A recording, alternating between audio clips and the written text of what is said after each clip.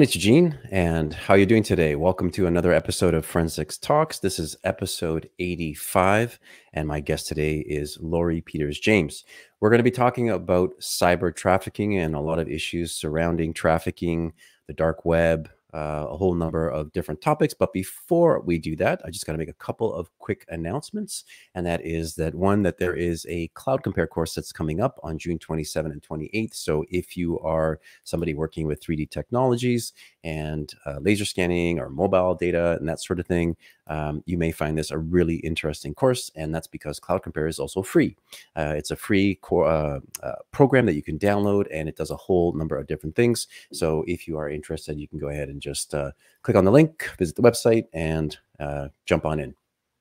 Uh, the other thing that I was going to mention here is that some of you know that I am working on some mobile iPhone scanning uh, with Recon 3D, and that is something that's used for crime scenes, it's used for crash scenes, and people are using it for documentation. And next week, I haven't announced it just yet, but I'll make it formal now. I will be doing a webinar probably on Friday. And there is a new version that I'm releasing. It's got some new features and things like that. So if this is something that you're interested in and you're looking to, um, you know, use your iPhone or with the LiDAR sensor for forensics purposes, then it may be interesting to you to jump on. But you'll find out more about that later on.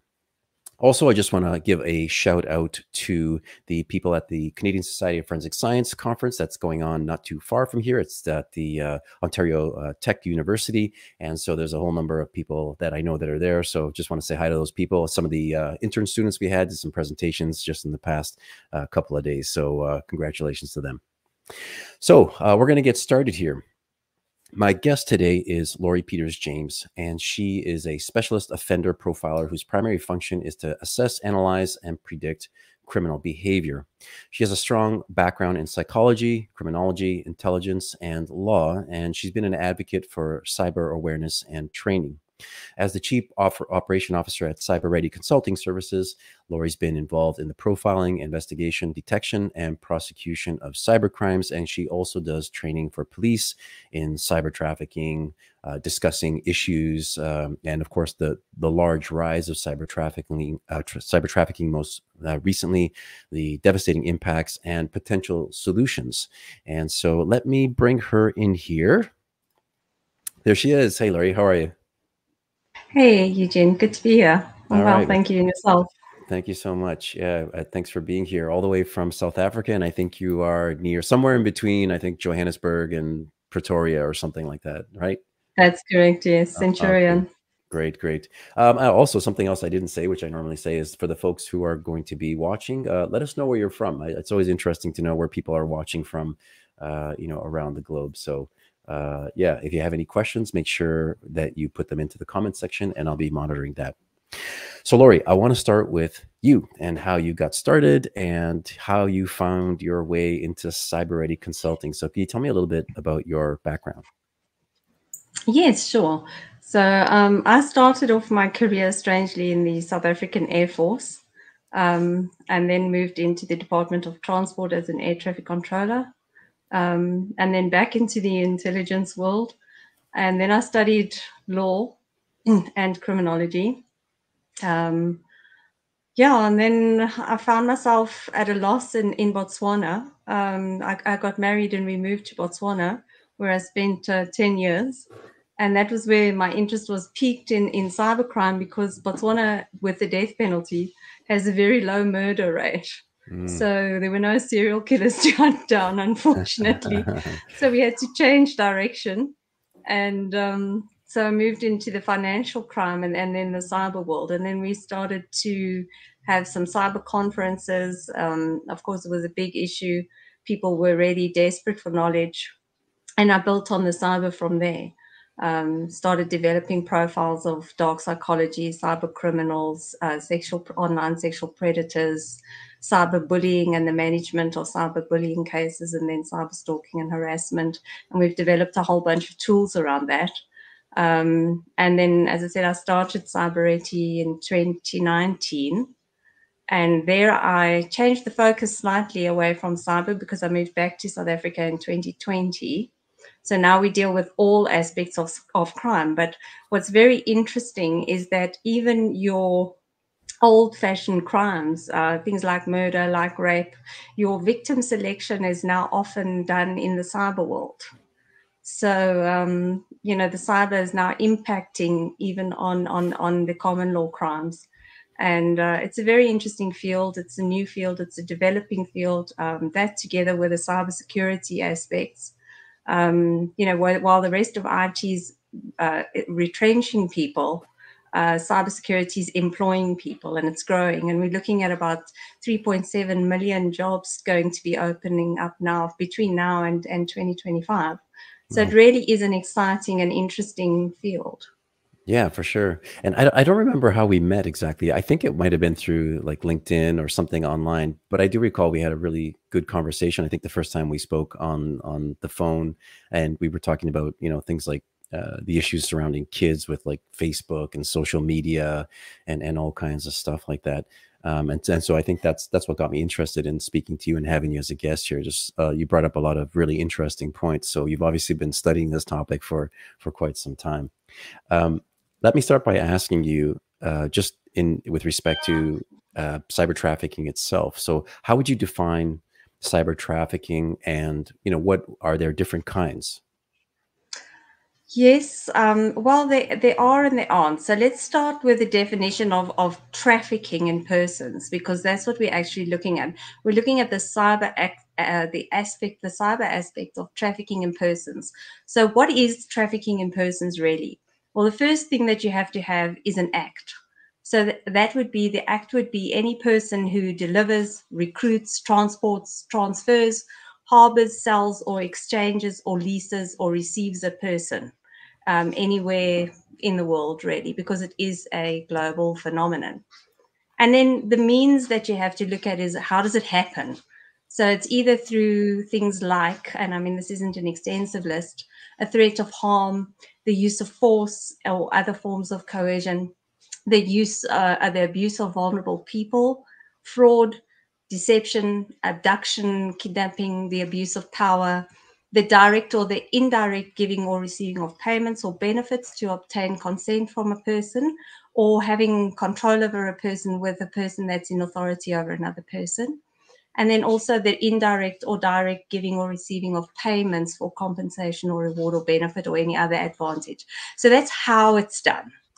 And then then the, the, the, the, the next important thing to look at is um, how and that that the, that this is mainly for the purpose. What is the purpose of this? It's for the purpose of the exploitation of that person be it online in person through selling through through bondage through um, through through through sex trafficking, through labor uh, trafficking, through organ trafficking, or any of these um, types of things. And when we put the cyber into it, it's the it's it's, it's actually committing these acts using IT or or a computer.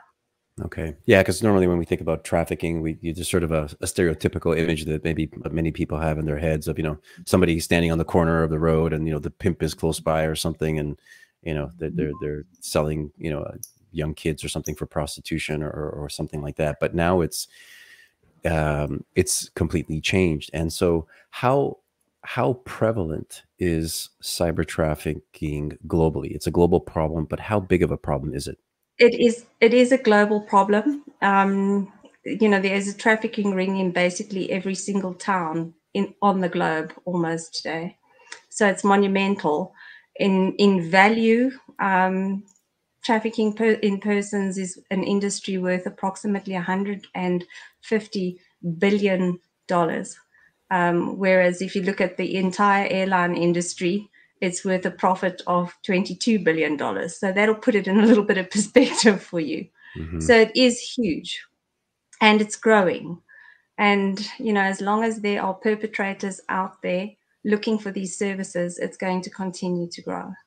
Yeah, for sure. Um, when it comes to uh, things like the kinds of people that make up, because uh, you know, you said it's organized, right? So it, it, it's organized. It's a form of organized crime. But what is the makeup of the the cyber traffickers? Are, are, they are they typically men? Are there women involved? Are they young males? Uh, what what is the typical makeup? So the typical makeup of a good cyber trafficking organization, you generally have a woman somewhere near the top. Interestingly enough. And these women have often been groomed and gone through uh, the, the system as, um, as victims at some point. So although the pimps and the muscle is male, usually, um, the person that's there to keep the victims in line is often female and a person that's been previously trafficked because they really understand all the challenges. Then you have involved in these rings, because it's organized crime, you've got the money launderers, You've got the um, doctors, lawyers, uh, people people that make counterfeit documents, um, the transport networks, if they're transported. But uh, with cyber trafficking, you don't need to transport the victim. You can traffic them from inside of their own homes, which we saw a big um, increase in, in, in, in during COVID, because kids were locked in their homes with their parents and their siblings and they were trafficked online by their own parents who were looking for an income and desperate for incomes. So yeah, it's it's, it's huge. It can happen to anyone, uh, and anybody can be a trafficker. Uh, you will walk past a trafficker in the street and you won't know that it's a trafficker, um, and that's what makes them so dangerous. Yeah, I thought it was pretty interesting though. You saying, you know, like you have lawyers and doctors involved. These are people who should be helping and serving the community, but you're saying that they're involved to so doctors to make sure that I guess they keep the the the victims safe and keep them producing money or, or doing what they have to do. Well, you know, you have instances, especially with child sex abuse victims, where the doctor will be there to stitch the child up directly after they've been abused so that they can be put to work again as quickly as possible. Mm-hmm. Unfortunately, we also have things like the NGOs that are involved. There are police officers that in, are involved. Now, of course, I'm in South Africa and um, our police force is, is, is a problem. We've had a case where a victim ran to the police in Sunnyside in Pretoria and the police trafficked her back to the trafficker for sex. Um, so, you know, anything goes depending on where you are and, and what the challenges are in that country. And, and South Africa faces a massive corruption problem. Yeah. Um, and they're in, in league with a lot of the organized criminals.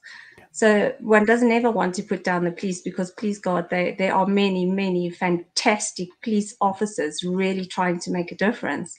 But unfortunately, you know, we do have the bad apples as well. Yeah, no, I, I that's that's everywhere, I guess. Um, in terms of the laws, like so, when it when it comes to trafficking and cyber trafficking, um, like in specifically, I, I'm I don't know how well versed you are with laws around the world, or if they're very similar everywhere. But in South Africa, for example, like what are some of the laws that pertain to cyber trafficking? Well, we have the Sexual Offences Act that covers it. And then we've also got a specific law around human trafficking. So we have a, a trafficking act, and that deals with um, the act, the protection of the victims, um, what to do, um, the sentences, and, and, and so on. It's very comprehensive. South Africa has some of the best legislation in the world around trafficking, and that's why we're able to prosecute it so effectively. Um, incidentally, and, and very interestingly, South Africa has the highest sentence in the world for trafficking. Um, we had a case where a young girl was um, trafficked by her aunt and, the and, and her daughter, part of the family, brought into the country under the guise of being educating her. Um, she was then trafficked online specifically by these two perpetrators um, and eventually, after the prosecution, we managed to secure uh, 19 life sentences and 45 years. And that is the highest sentence globally handed down in a, in a, in a, in a, uh, in a trafficking case. Yeah. Um, so South sure. Africa is pretty good. Yeah, South Africa is pretty good when we when we can get a conviction, we do, and we're also very, you know, our hawks are are, are getting there on the investigation side. They really we have some dedicated officers, and we work in league with Interpol, with um, UNODC. We've got a lot of help from U.S. Homeland Security. The U.S. Secret Service assists with the training of, of our hawks. So there's a there's a giant effort to do something about the trafficking, at least.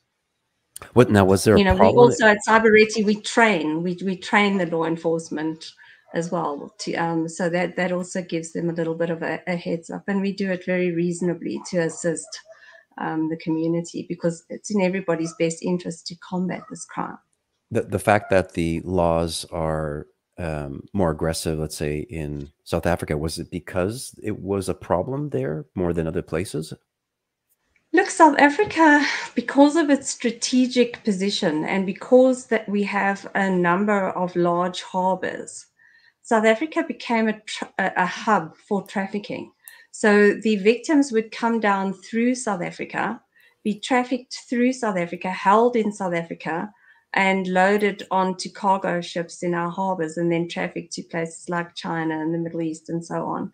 Because South Africa has very good trade relations with, with countries like China, so our ships aren't searched. And um, that opens the door to, to, to making us a corridor and a hub for trafficking. And it has been that way. So countries like Botswana, Zambia, Zimbabwe, they're all landlocked.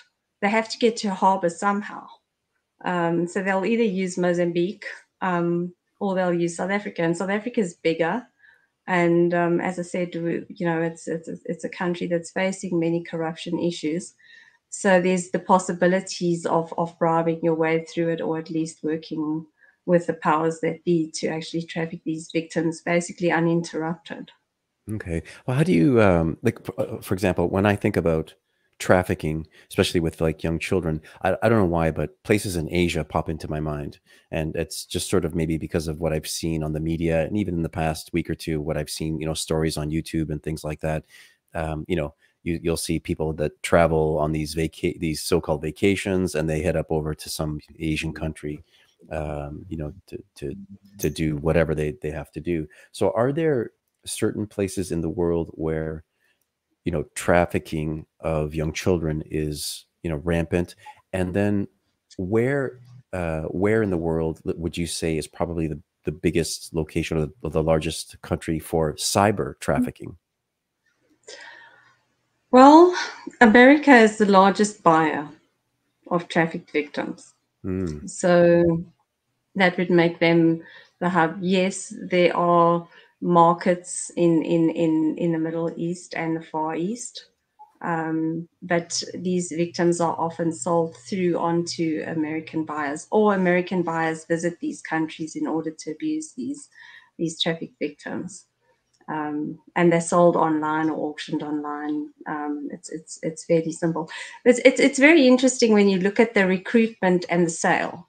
So we see a couple of different categories here. So they're either recruited online and sold online. They could be recruited in the real world and sold online, or recruited online and sold in the real world, or recruited online and sold both online and in the real world.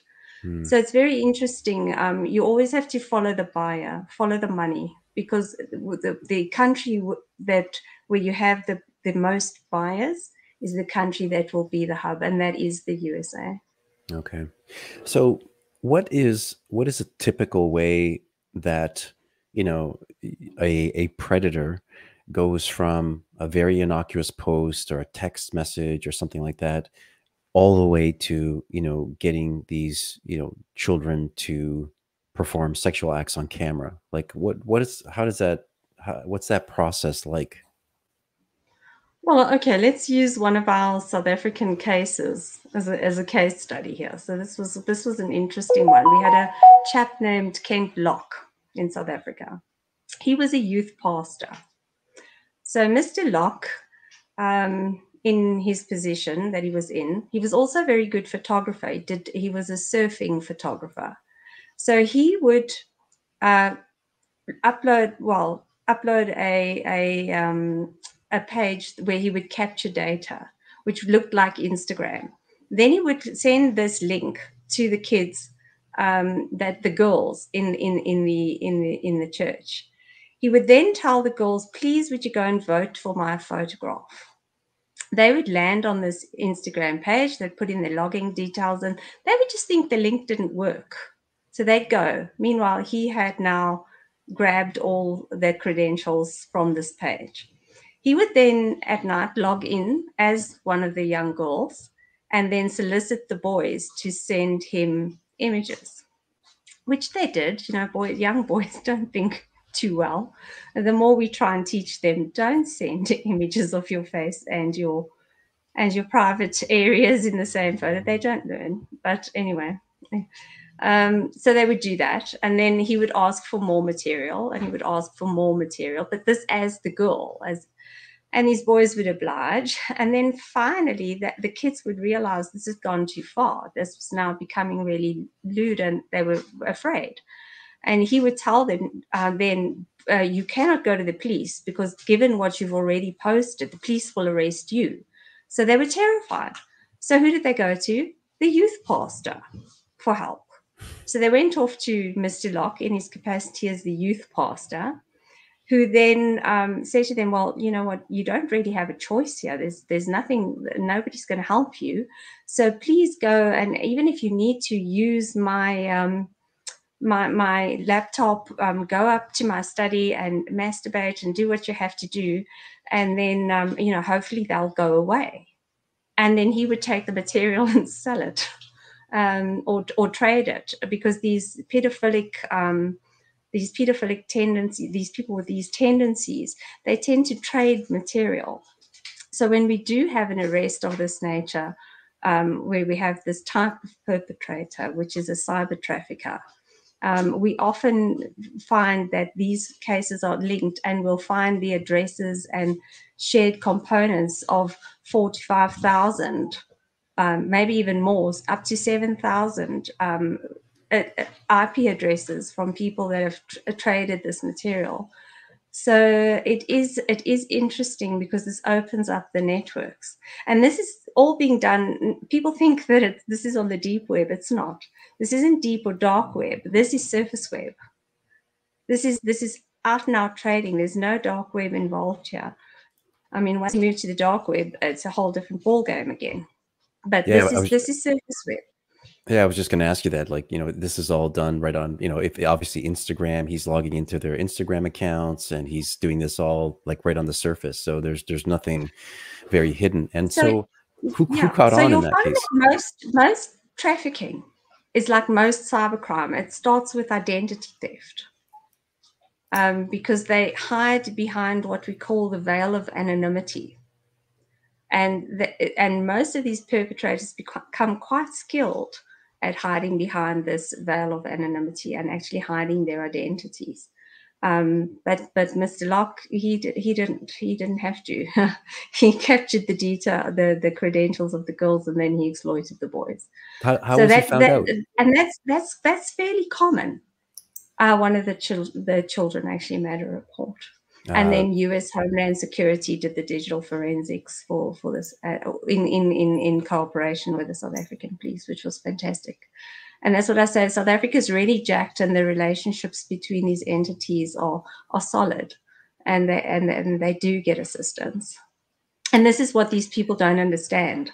Um, you know, when you traffic, it doesn't matter from where you traffic. If you traffic from South Africa, if you traffic from from Finland or you traffic from Asia, it doesn't matter. Once you upload those images onto American server, you can be prosecuted under American law. Mm. So if hmm. you upload onto a Google server or a Facebook server or an Instagram server, you're uploading onto an American server.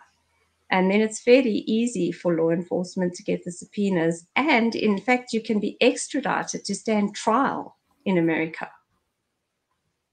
I was going to bring up a slide, and it was something that you sent me, but I think it's an important point, and it has to do with the actual value. Like there, there, there has to be some monetary benefit into all this, because otherwise people wouldn't actually risk this. But the slide you sent me was asked uh, was actually uh, with respect to Canada, uh, which is obviously where where I live, yes.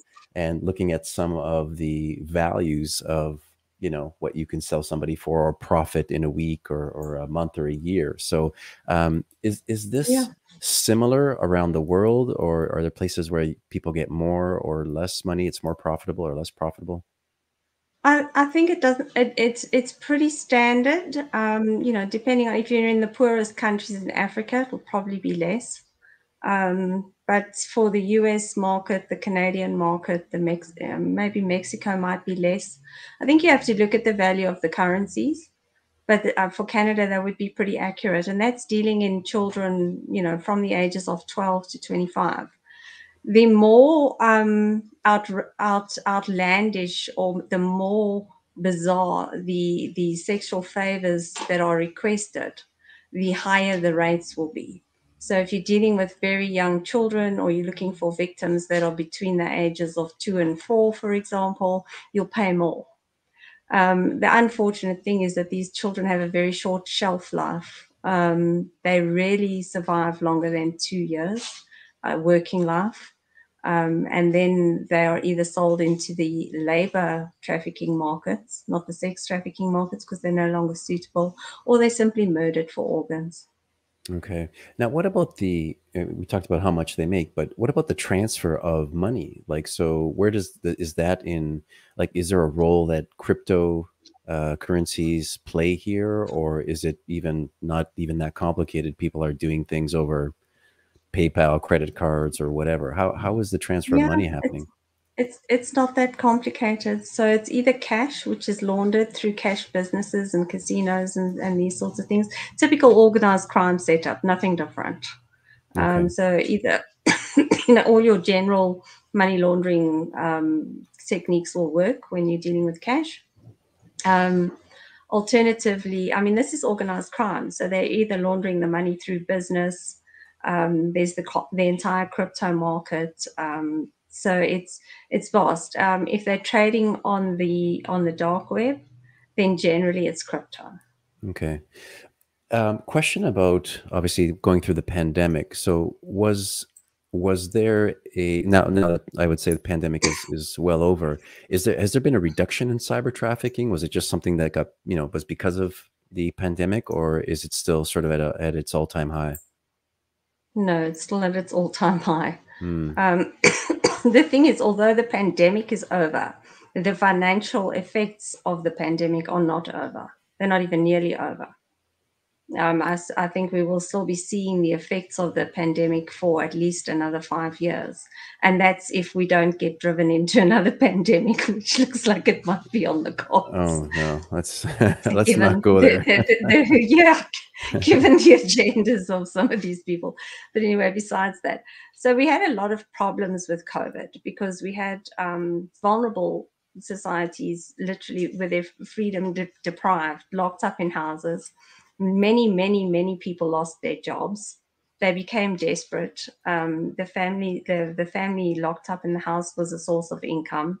They would simply turn one bedroom into a, a, a, um, an area where they could perform sex acts on the children and film it and and and start to traffic these kids are at, from from the actual home of course another problem was that law enforcement was severely stressed and curtailed during that time. The funding dried up because companies were struggling. So the, the, the funding for the ngos dried up. The ngos also were no longer mobile. So we had a lot of knock-on effects um, which were directly related to COVID. Um, and, and that's not going away because once a, a criminal finds a really easy way of making money, they're not going to stop just because the circumstance stops. Um, but you know now the kids can go to school and they, they are allowed to do, I mean we're back to let's say normality with reference to that.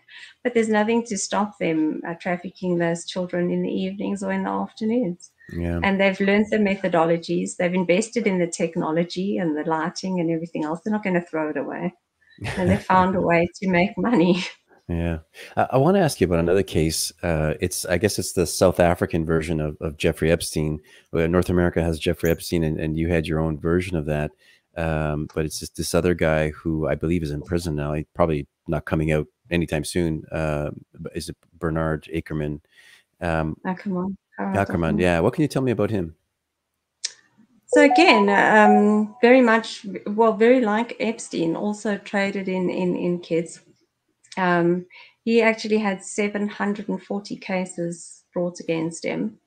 Um, the trial has been completed. He has been found guilty on multiple counts. Um, I'm not 100% sure if he's been sentenced. I'd have to check that. Um, but he's facing multiple life sentences. He'll never get out of prison. Um, again, you know, again, this, this, the solicitation of, of, of very vulnerable victims. And this is what happens. Unfortunately, you know, it's although anybody can be trafficked. Let's let's let's let's be very clear. It doesn't matter who you are, where you come from, what your risk factors are. Anybody can be trafficked. But the problem is is the vulnerable are targeted. It's and they're easy to exploit because of desperation. Yeah, so again, yeah, the recruitment of, of vulnerable victims and the sale of these victims online. Again, these cases open up multiple avenues for investigation because of the sharing of the material. So again, this case also opened up a huge amount of IP addresses that are currently under investigation, um, increasing the trafficking, uh, where, where investigators are looking at other members of the trafficking rings.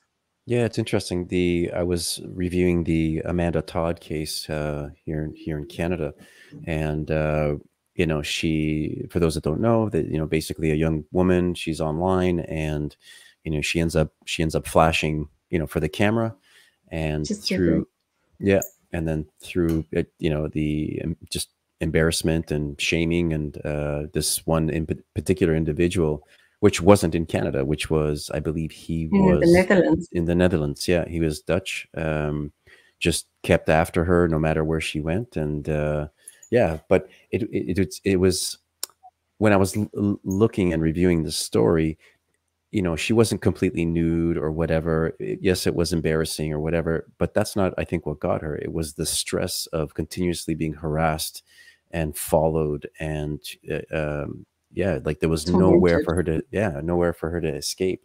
So, uh, in that case, it wasn't so much the act; it was the fact that she was vulnerable.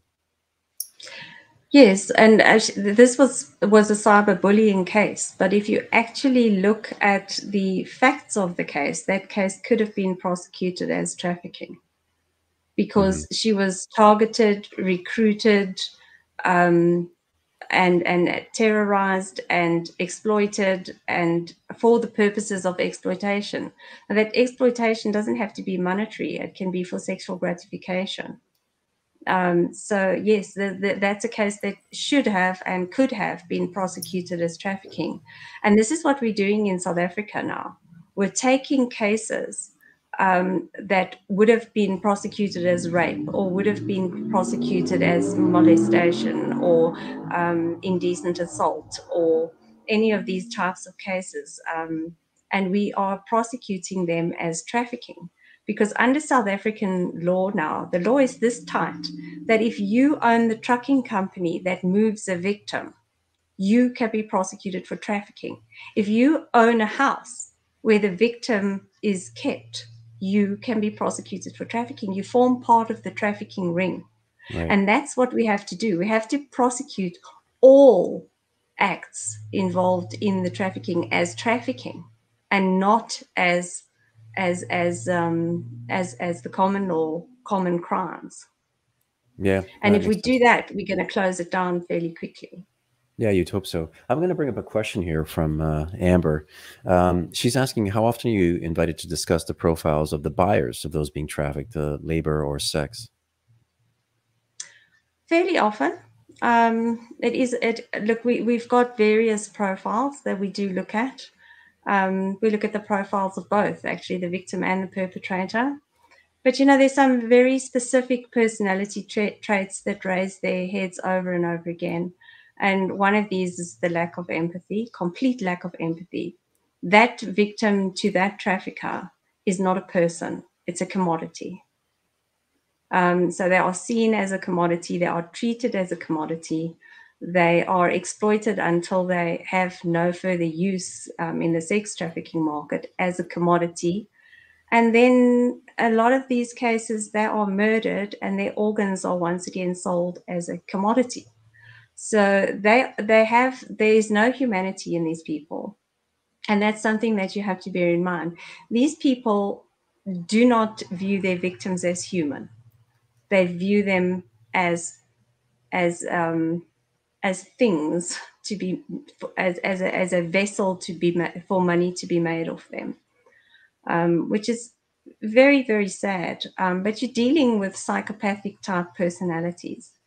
Um, in order to actually reach one of the primary um, per, you know traits of psychopathy is a complete lack of empathy, and most people involved in the trafficking trade have that complete lack of empathy. Yeah, you just you know you mentioned that you know they're using these victims. Uh, it's bad enough already, you know, for for for sex profit or whatever. But now you know when you said they're actually murdering them for organs, like that's absolutely it's that's a pretty dark place uh, to to be at. That that's hard to imagine uh, that people can go that far. But uh, unfortunately, I I think yeah, it's just the reality of what we're faced with. In some places, it's probably going to happen. Um, and there again, there's there's a market for that too, right? Uh, in terms of, and I think there was a there's a graphic I'm going to look for here, but I believe you had something where it actually shows your your body parts and what kind of money you can make on the body parts. Uh, I'm going to see if I can bring it up. Oh yeah, here's one here. I'll I'll bring it up here, and I, I am not sure where you got this graphic from, but um, what can you tell me? Yeah, that's quite an old one. So the value is a little bit higher than that now. Interest. But yeah, yeah you okay. can see that um, you, you're worth quite a bit of money. Um, you know, a heart now goes for really good money. Um, you know, up to $150,000 for a heart. Um, lungs, similar. So, yeah, once you start breaking down the human body, I mean, even today with with organ transplants, even the skin is worth money. You know, they harvest the skin for skin transplants today. Wow. So it's not just the, the, the actual organs anymore. I mean, the skin is an organ, obviously, but even that's worth money. So and your hair is worth money for to, to be made uh, wigs out of. You know, everything has a price. Everything has a cost, and these people are only ent- interested in that commodity market. I want to ask you about, or start moving into the investigation of these types of crimes and the the role that the police play and the kinds of tools that they have as well.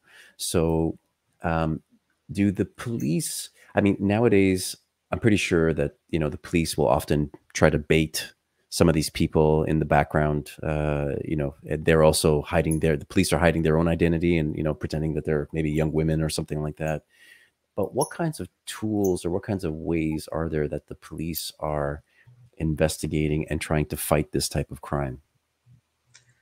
So, look, often what happens with a police investigation, it will lead you to a specific website. And once that perpetrator has been identified and arrested, um, often they will give up the credentials of that website and then the police will take over and operate that website for a number of months and identify ev- everything that they can from that website before they shut it down. So they will actually become the operators of the website. And that's where you get the best information that you can get. I mean, obviously, they're also extremely powerful law enforcement forensics tools. They will take the they, will take the devices. They'll they'll they'll make um, copies of the of forensic copies of the devices. It's very interesting when that happens. I, um, it was something I learned from some of the forensics guys here. They never reuse a hard drive, so it cannot be used twice. So every hard drive that's used for every dump is a brand new hard drive. So the police here go through absolute mountains of hard drives um, you know, the problem in South Africa, and it's not a problem worldwide, is that they do lack resources. Um, but there are a number of really fabulous um, companies that will actually assist. So, with the South African police, where there, where there is a problem, we do have a cyber unit. but um, we don't have enough people to actually uh, deal with the amount of crime that that that we deal that we have to deal with. So we're now looking at initiatives on how we can, in, in, you know, sort of use the private sector to assist with with with um, with this type of, of work. And there are fantastic tools out there. If somebody wants to get into it, I mean, there's a fabulous investigative tool out there called Maltego. Um, a lot of the investigators use it. Um, there's another one called Traffic Jam, which is used to hunt um, traffickers. That's an AI tool. And of course, AI is going to be playing more and more of a role. Mm. If anybody wants to research that, I, I, have sent you some links, which we're more than happy to to share.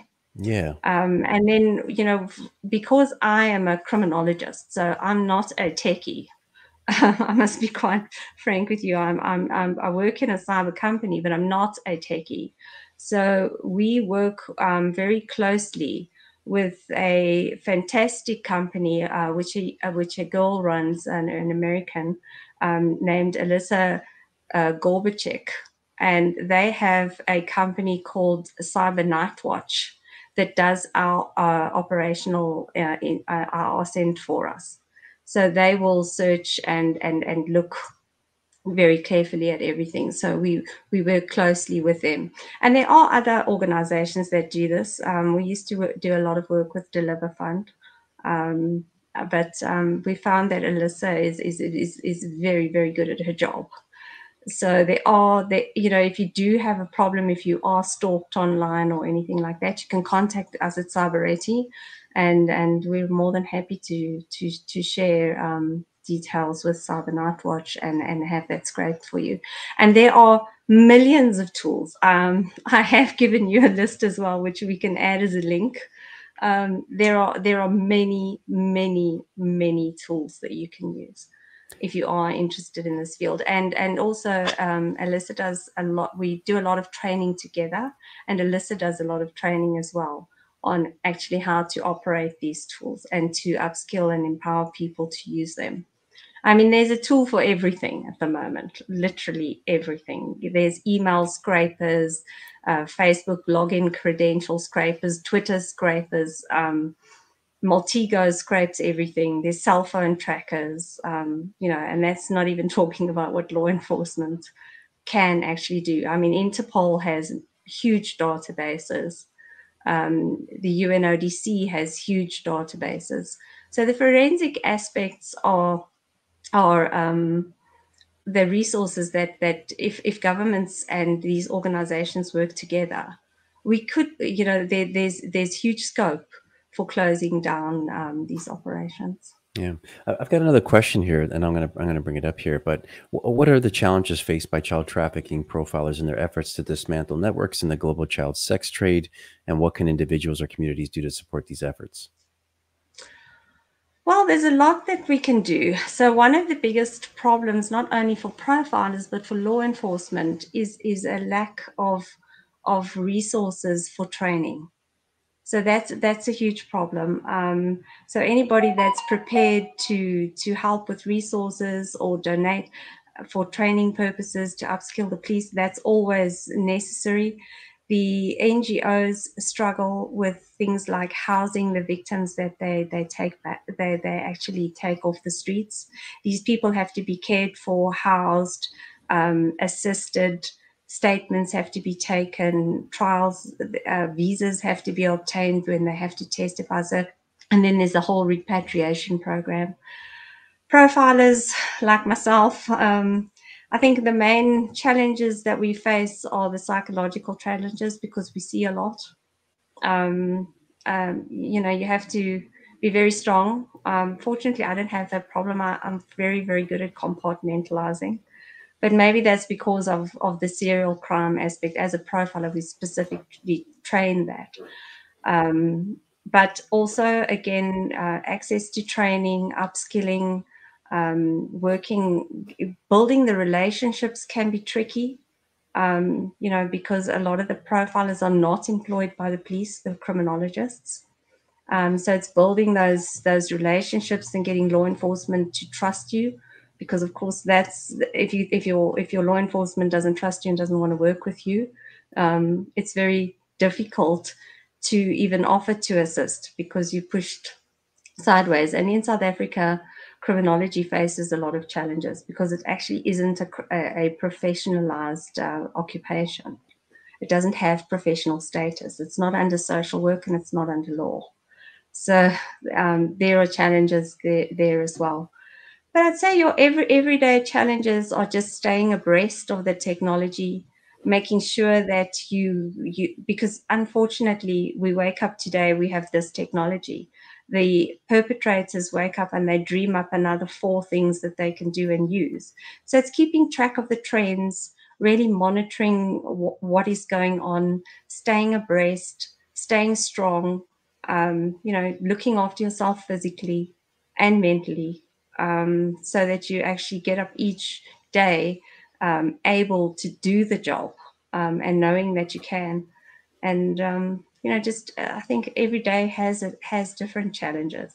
But the biggest the biggest challenge that we do see is having to wade through hours and hours and hours and hours of, of videotape where children are being abused and, and the impact that that has on people can be quite severe.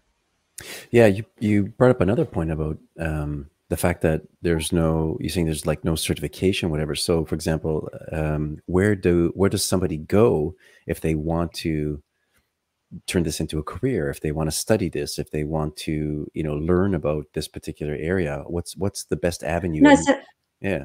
So Eugene, there is a certification. You actually ah. go to university and you get a degree and, and, an honors and a master's. Okay, but sorry. what they don't, you know, what they don't have in South Africa is a professional body. So if you're a medical doctor, you you can register with the Health Professionals Council. If you're a lawyer, you register with the bar. Um, but as far as criminologists go, there's no body to register with, um, mainly see. because of infighting with the universities. They can't even decide on what qualifications you need so you, you the, and I, I, mean i have 20 30 applications every week of people saying can you can, can i come and do an internship with you? Can i job shadow you? Can but even that is difficult because again it's it's it's those trust relationships. You can't bring a young kid that's from university now into a job shadowing with a sensitive victim and and expect that victim to open up to you Right. Um, you know, sometimes you, you it's difficult to do, but Cybareti, we we do everything that we can to assist with with upskilling, and and to assist the police, to assist the NGOs, anybody that reaches out to us. We do these types of webinars, um, you know, but but but there are challenges, and and and it's been for a long time. I mean, this has been going on for 15 years, and it's the academics that can't get their their act together, really.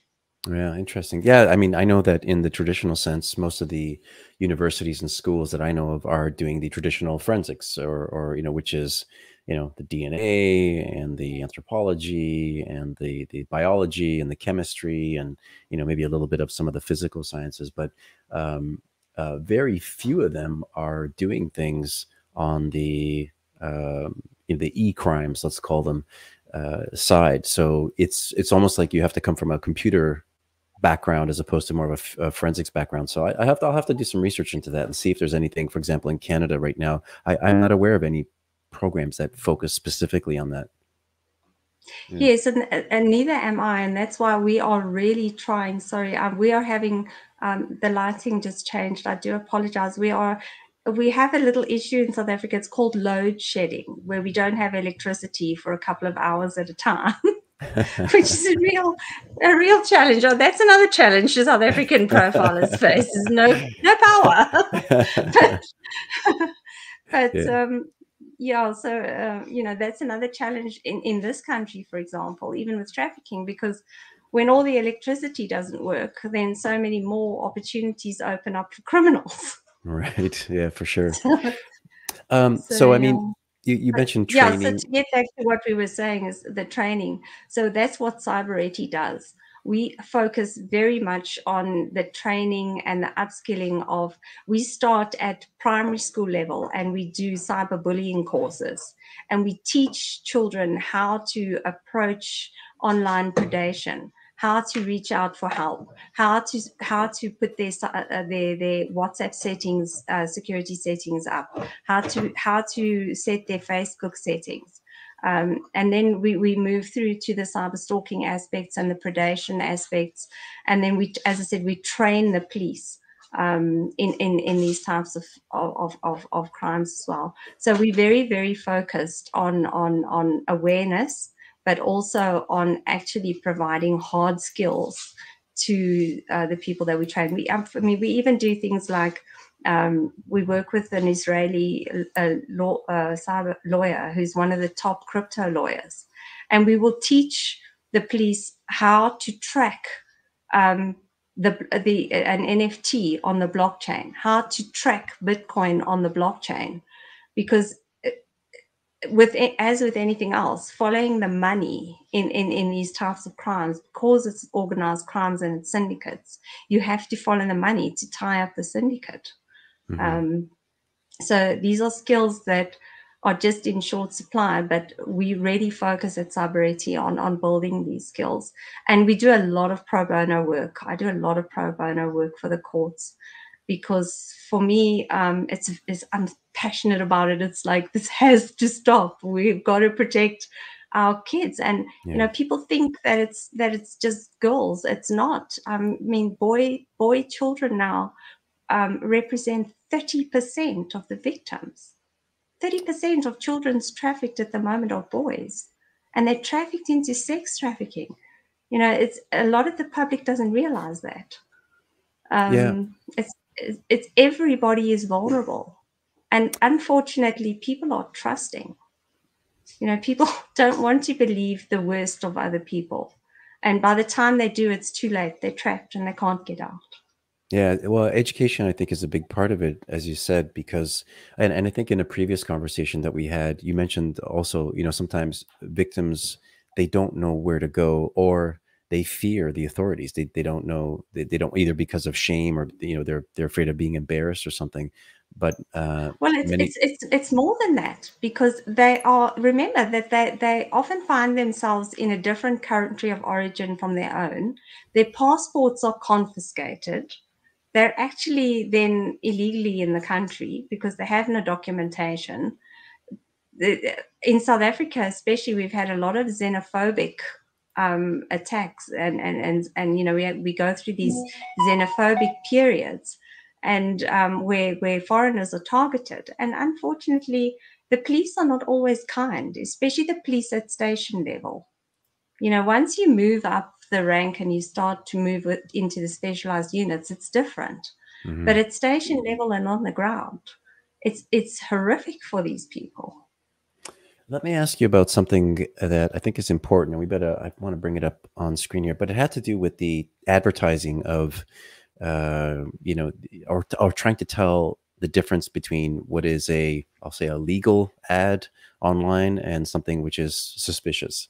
And I have these uh, these these graphics here that you provided me, and I, am not sure if you want to do them in any particular order, but um, maybe you can explain some of the differences of what to look for sometimes online in these ads. Yeah. So um, when a prostitute, a general prostitute, um, advertises her services online, you'll see something like this ad that we have on screen now. Um, now, they a, a, prostitute working for herself can set limits. So she can say, I'm available from eight to five. Um, I don't uh, do BDSM. I um, am willing to do this and this and this. Um, so they set limits. Um, they often the, the images that they they put on are, are classy. They're um, you know that all their selfies a lot of the time because they're taken by them because it's all it's all willing um, with a trafficked victim you won't see that um, you you will see uh, degrading degrading images um, more than than you'll see um, these types of, of classy type images um, there's a lot of um, things that you'll look for in a trafficked victim. Um, I'm quite happy to make these these these graphics available as well, so we can we can actually put. I'll, I'll send you a Word document which we can link in. But the things that you can look for in a trafficked victim are, are keywords such as new in town, because what they do with trafficked victims is they move them from town to town to town to town. So they'll only stay in a certain area for a short time because once they've been used by that clientele, they're then bored with them. So they move them and they'll move a new set of girls in. So new in town is quite a common thing that you'll see. You'll also see sometimes new girl. Um, you'll also see any age accepted. Um, you'll see um, uh, any any no limits on what they'll offer. You'll see things like no law enforcement. Um, you'll see fresh. The word fresh comes up quite often. Um, snow bunny, terms like that. Um, uh, here for a short time again, to, which pushes the um, that that you know that the girl they need to get in quickly because the girl will be moved in a short time. Um, if you look at the image that you've got there, uh, I don't actually have that image with me at the moment. But if you look at the, the next image, the image of the actual trafficked victim, you will see that um, you can pick either of those two. So, so for example, there you'll see that the imagery is much more graphic. It's it's border, bordering on vulgar type imagery. It's the image is taken usually by a third party and not by the victim themselves. Um, the, the advert will say the subject is independent, but the phone number will be attributed to many victims and not just one. Um, you'll also see that um, the images um, and the verbiage is present and the description or the categories that they prepare to enter into are much greater. Um, you'll see in this one, for example, they only speak Russian and Ukrainian. Now, of course, with the war, we've seen a massive increase in Ukrainian victims because they're vulnerable at the moment. Um, although, and that you'll see that that victim is advertised in Poland, but she speaks Russian and Ukrainian and very little German. So that's that, that would be a, something to look for. Um, they also will advertise the sexual services in other destination countries. As, as, uh, for example, she'll be in Germany in a few months. Um, if you look at them, they also have often have physical marks on the body because often they are beaten up. Um, they also often look malnourished. They look very stressed. Um, they usually say these victims are available 24 7 um, and that they are willing to travel. Um, the subject is usually advised to as a call in only, um, and often they'll blur the victim as face, so the face won't be visible because they have to do that because there's reverse image uh, uh, search tools that will search for that victim's facial features. Um, and then also, uh, you know, they may advertise uh, medically risky services like anal, you know, all the anals and the BDSs, uh, mm-hmm. SMs and things like that. So um, these are things that you can look for as members of the public. So if you see these types of advertise, advertisements where the victim is being degraded, that's a very good indicator um, and then Eugene, I don't know if you've got the other slide there. Um, there's some interesting things there that we can just quickly have a look at, and that's the emoji indicators, um, which is another very interesting one because a lot of the the traffic victims and the online ads have certain emojis that are used to portray uh, certain products. we I wouldn't see. say, yeah, we know they're referred to as product. Um, so there you would use like a pink flower or a pink heart for a young boy or a minor or a child or a young girl. Um, if they move on the move, they'll put an aeroplane. If they're under a pump or a trafficker's control, they'll have the crown. Um, if you've got, you know, there's a whole bunch there that you can actually see.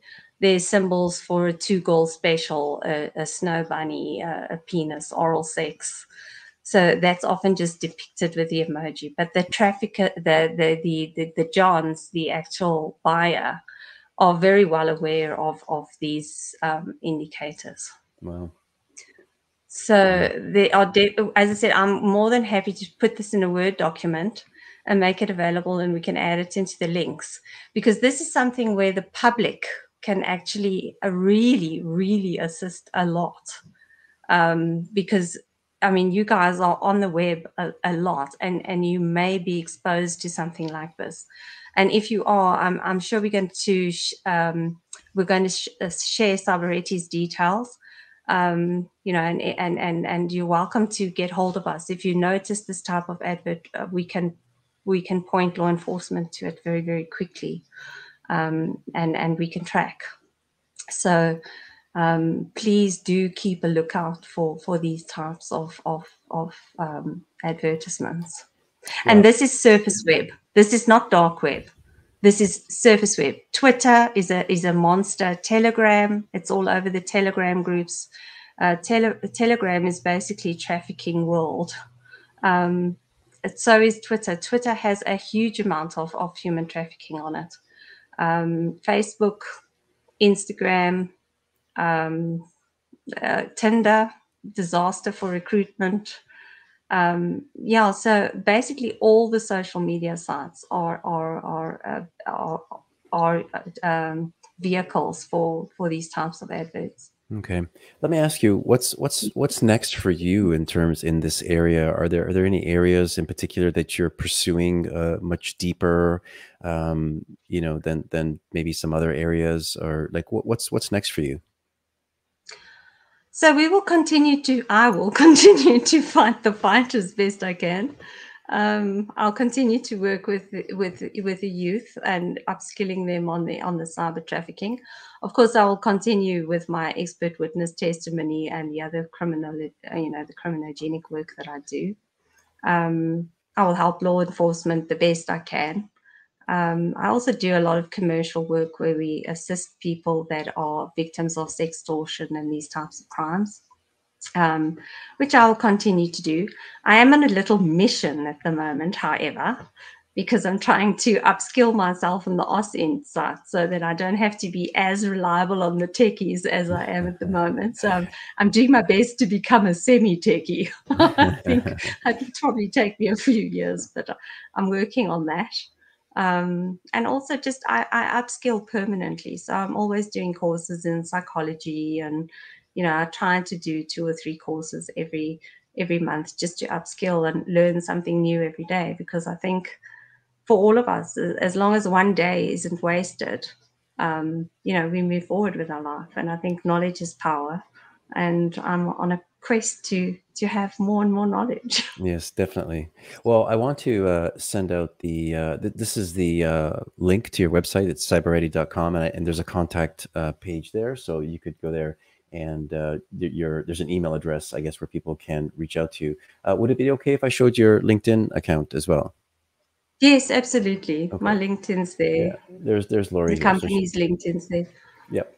Yeah, there, there it is. So you can also reach out, I guess, there. Then people can message you or get a hold of you if they want to talk to you about a case or if they want to talk about training and that sort of thing.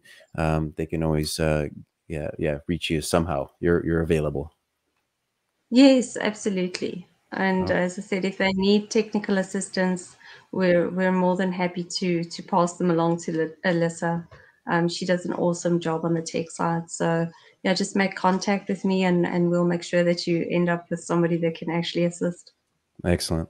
Well, look, I want to thank you very much uh, for this informative talk. It's it's uh, not something that I've really addressed before, and uh, there's a lot going on on the cyber side. I was there's a lot uh, recently that looking online about the the growth of not just cyber trafficking but just cyber crimes in general. They're just going off the charts because everyone is online these days, and the criminals are getting smarter and smarter about you know how they are getting you and uh, i can't stand it because i can't get you know I, I, don't know about you but you know junk emails and, and calls and texts and now they're just uh, there's just so much everyone's getting bombarded with garbage and you know that if you just one day inadvertently click on the wrong link mm -hmm.